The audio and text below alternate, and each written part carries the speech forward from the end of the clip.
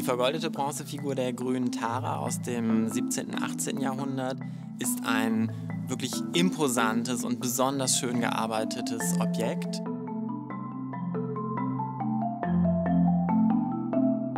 Sie hat eine exzellente Provenienz, ähm, nämlich wurde sie um 1970 in der Henry Kramer Galerie in New York ausgestellt, ist dokumentiert und stammt aus einer alten Sammlung sino-tibetischer Bronzen, die am Ende der Qing-Dynastie um 1912 in Peking erworben wurde.